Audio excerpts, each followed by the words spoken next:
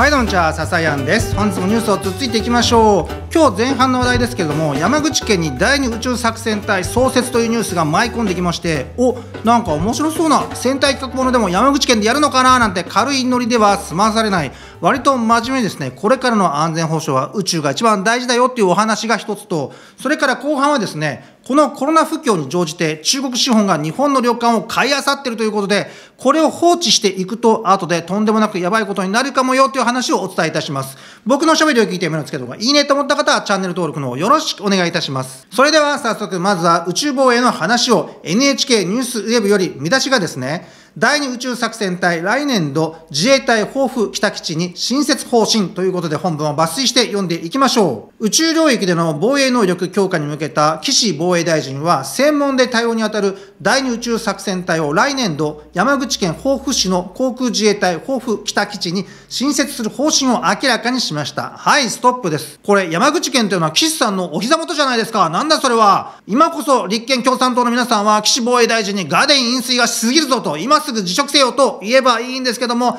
多分それはできないです。なぜならそれはやぶへびになっちゃいますからね。まあその話はね、後に置いておきますけども、えー、岸大臣は隊員への訓示で、宇宙空間の安定的な利用の確保は極めて重要で、しっかり準備を進めてほしいと指示しました。宇宙作戦隊は日本の人工衛星を他国からの攻撃や妨害、それに宇宙ゴミから守るための部隊で、豊富北基地は東京の航空自衛隊府中基地について2カ所目になります。防衛省によりますと、およそ20人体制で発足し、山口県山陽小野田市に整備を進めているレーダーなどを活用しながら監視に当たる予定ということです。視察の後に岸大臣は、記者団に対し、宇宙、サイバー、電磁波といった新たな領域と陸海空という従来の領域の組み合わせが死活的に重要だ。我が国の防衛を全うするために積極的に宇宙領域における能力強化に取り組んでいくと述べました。おしまい。ということで、この宇宙作戦隊はもともと東京の府中にありまして、そこでも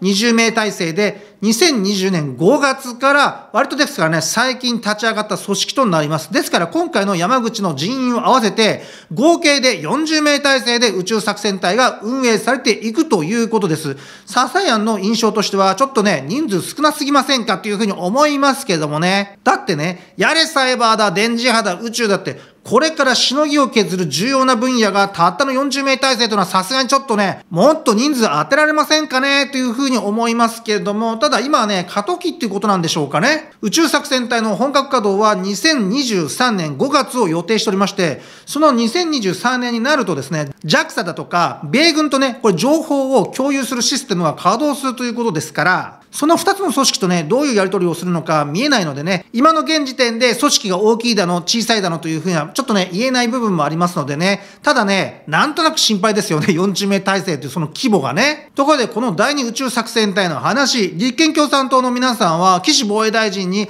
ガーデン飲水だ、職権乱用だ、すぐに辞職しろと言えばいいのに、多分それは言わないよねっていうか、言えないんですよね。なぜならば、最高機密の軍事施設をそこに置くということは、イコール敵の攻撃対象となりますから、これはガーデン飲水ではなくて、保守王国の山口だからこそ成立した話だとも思えるわけです。これが例えばですね、沖縄にこのね、第二宇宙作戦隊を置くとなれば、ものすごいいざこざが起こっていたことでしょう。また沖縄の基地化が進むようだとかね、沖隊だとかあちら系のメディアが他国に脅威を与えるだとかね、まあそんなことを言い出すわけですよ。いやいや、ちょっと待ってくれと。他国からね、中国や韓国や北朝鮮から脅威を与えられてる側が今の沖縄であり、今の日本なんですけれどもね、と。で、この宇宙作戦隊の話、本質的な話をしますとですね、これは今後の日本の安保体制の重要な、極めて重要な要となります。絶対にそうなります。なぜかと言いますと、戦闘機にしろ、戦車にしろ、まあ、戦艦、ミサイルにしろですね、今の戦闘システムには必ず軍事用の GPS が入っています。で、この GPS 信号というのはですね、軍事衛星から発信されているわけですから、極論すればですね、その軍事衛星を破壊しさえすれば、セルス戦闘機だとか ICBM といった高度な兵器を完全無力化とは言いませんけどもね、ある程度無力化することが可能になってきます。そう考えていきますと、専守防衛である我が国、日本こそがですね、宇宙分野に力を入れていかなければダメなんですよ。なんか宇宙って聞くとね、スペースファンタジーみたいなね、ふわっとした感触があって、うん、なんかいまいちよくわかんないっぽくなっちゃいますけどもね、それじゃダメなんですよ。大人の国は月に国境を立ててね、お月様は我が領土みたいなね、そんな壮大なプロジェクトをやろうとしてるみたいですけども。まあそういう話はお花畑でも耕しながらやってくれよと。専守防衛という得意体質の日本を考えれば、宇宙空間がこれから最も重要な分野となります。さて、お次は来年 GoTo キャンペーンが再開すると噂の旅行業界に暗淡垂れ込めているという話題を産経新聞より見出しがですね、老舗旅館を開発する中国資本論説副委員佐々木類ということで本文を抜粋して読んでいきましょう。ポストコロナを見据え中国資本による老舗旅館の買収が活発化の兆しを見せている。特に静岡県伊豆半島や神奈川県の箱根界隈は富士山をはじめ東京にも近い立地で中国人観光客にも人気なのだという、そうそうそう、そうなんですよね。なんで中国人って富士山が好きなんでしょうかね。僕一回ね、あの、静岡県の沼津のホテルに泊まったことがあるんですけども、そこは天候が良ければですね、窓から富士山が見える、まあ、マウント、なんていうの、マウントビュー、富士山、富士山ビューっていうのかね、まあ、そういうものが売りのホテルでして、着いてから気づいたんですけども、ロビーが中国人だらけなんですよ。で、そのうちの何人かが、富士山が表紙のトラベルガイドブックみたいなものを持っていたのでね、あ、富士山目当てなんだねっていうふうにやっと理解できたわけですけれども、まあちょっとね、不思議なんですよね。中国人の富士山びいきね。で、えー、日本国内で経済活動が日常を取り戻しつつある中、水面下では中国資本による老舗旅館やホテルなど売り出し物件に関する問い合わせが増えている。ホテル旅館経営研究所代表取締役所長辻裕二氏は、昨年夏頃問い合わせは月100件程度だったが、今年は7月に350件、8月は400件、9月は450件と増え続けている。今年はすでに10件ほど成立するなど、売買契約は急増しているという、うーん、これもね、想像できた話とはいえ、やっぱりこう来ましたかと。今の日本って海外から見たら物価が安い国なんですよね。物価が安いということはつまり、旅館やホテルの物件も割安だということですから、このタイミングで海外勢が職種を動かすというのは、まあ当然の成り行きっちゃ成り行きなんですけれども、えー、辻氏によると、今年の9月に顕在化した不動産大手、中国恒大集団の経営不安は逆に中国資本の日本の不動産への関心を高めているという、中国では土地を購入できないが、日本では他国と比べて土地を安く購入できるからだ。将来自らが移住することも視野に、まずはコロナ後の中国人観光客を見込んで、老舗旅館や由緒あるホテルが人気なのだという、あー、なんかこれもう完全に銀座ラオックスシステムですね。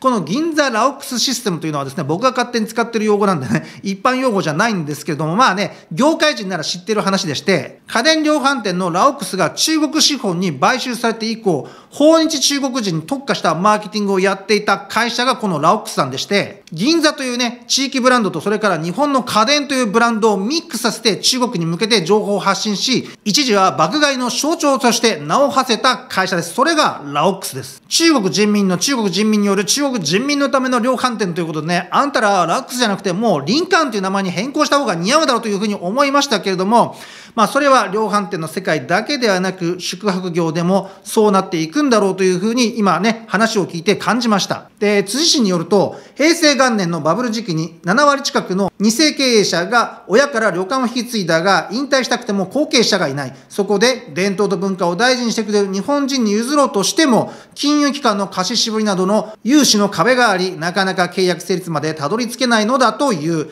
確かにコロナ前であればですね、経営者次第で旅館の立て直しをなんて話もあったんでしょうけれども、このコロナ不況を体験しちゃうとですね、経営者の手腕だけでは抗えない部分も出てきましたから、銀行に頼らなくても良いほど潤沢な資金でまずは潰れない、持ちこたえるという力技も必要になってくるのかもしれませんよね。えー、中国とのビジネスに詳しい関係者の話によると、日本人の買い手は3億円の物件を3億円弱から交渉を始めようとする。だが、中国資本の場合、物件を内覧した数日後には現金で5億円を置いていくケースもあったという。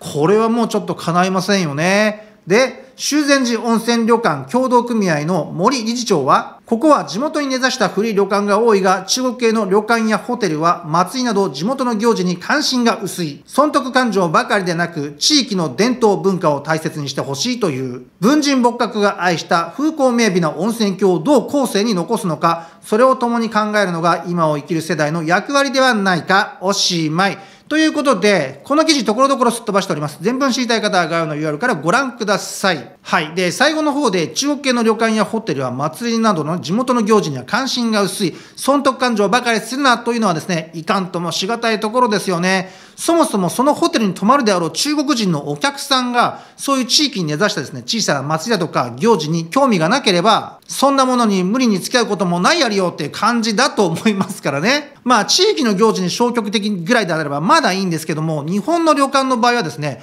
温泉のお祈り券とも密接に関係してくるので、温泉旅館組合というのはただ単にですね、ホテルや旅館の寄り合い状態じゃなくて、湧き出てくるですね、温泉の使用量だとか、そういったものの事実上司っている、まあ、団体みたいなものですから。だって温泉水というのはですね、町とか市の役場が決定権あるんですけれども、それをどう運用するのかっていうのはですね、温泉旅館組合の意向が強く反映されていますから、熱海だとか箱根みたいにね、でっかい温泉街であれば、まあね、そんなこともないんですけども、小さな温泉街だとね、中国資本が2つ3つ入るだけで声が相当大きくなるわけですからね。今、ほら、北海道でもね、水源地が中国資本に買収されたりだとかね、そんな話出ているじゃないですか。ですから、やがて温泉地の温泉利権にも、このね、中国資本が影響出てくるのではなかろうかと、僕は一末の不安を感じております。あと余談ですけども、えー、昔ね、取引があった温泉旅館さんからね、生の情報をお伝えいたしますけれども、緊急事態宣言が解かれてからですね、その温泉旅館は、特徴的なデータが出ておりまして、個室露天風呂に備わる部屋から予約が順々に埋まっていくそうであります。コロナ以前はですね、そういうお部屋はお値段高めでしたのでね、そこまでお部屋の稼働率は実際上がっていなかったんですけども、このご時世、やっぱりね、お風呂でも人は避けたいということで、